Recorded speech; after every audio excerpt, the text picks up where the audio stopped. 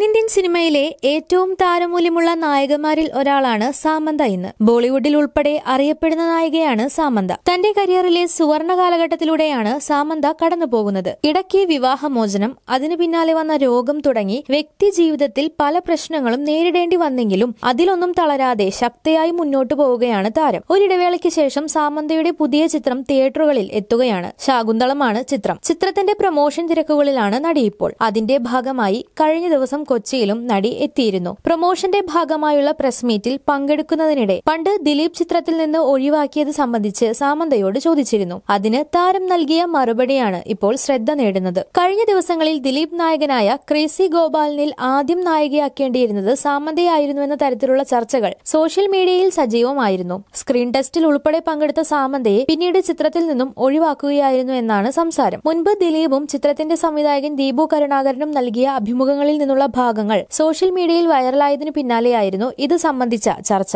ഒരു പെൺകുട്ടി അവരെ ആ സിനിമയിൽ നിന്ന് ഒഴിവാക്കിയപ്പോൾ ഒരുപാട് കരഞ്ഞിരുന്നു. ഞാൻ പറഞ്ഞു വിഷമിക്കരുത്. ആ കഥാപാത്രവുമായി യോജിക്കാത്തത് കൊണ്ടാവും. വിഷമിക്കരുത്. ഒന്നുകൂടി വർക്ക് ചെയ്യുക. സിനിമയാണ് നാളെ ഇന്ത്യൻ സിനിമ തന്നെ പുറകെ വരുന്ന കാലമുണ്ടാകുമെന്ന് പറഞ്ഞു. അത് സംഭവിച്ചിട്ടുണ്ട്. അങ്ങനെ ഞാൻ പറഞ്ഞിട്ടുള്ള രണ്ട് നായകമാർ ഇന്ന് തെന്നിന്ത്യൻ സിനിമയിൽ ടോപ്പിൽ നിൽക്കുന്ന ആളാണെന്നായിരുന്നു ദിലീപ് ഒരിക്കൽ നേരെ ചൊവ്വയിൽ പറഞ്ഞത്. പിന്നീട് ചിത്രത്തിന്റെ സംവിധായകൻ ദീപു കരുണാകരനാണ് അതിലൊരാൾ സാമന്തയായിരുന്നുവെന്ന് ഒരു അഭിമുഖത്തിൽ വെളിപ്പെടുത്തിയത്. ദിലീപ് അയാൾ എങ്ങനെയുണ്ടെന്ന് എന്നോട് ചോദിച്ചപ്പോൾ നല്ല പ്രകടനമാണെന്നൊക്കെ ഞാൻ പറഞ്ഞിരുന്നു. പക്ഷേ നമുക്കല്പം ഉയരമുള്ള ആളെയായിരുന്നു വേണ്ടത്. അങ്ങനെ ആ കുട്ടി തിരിച്ചു പോവുകയായിരുന്നു.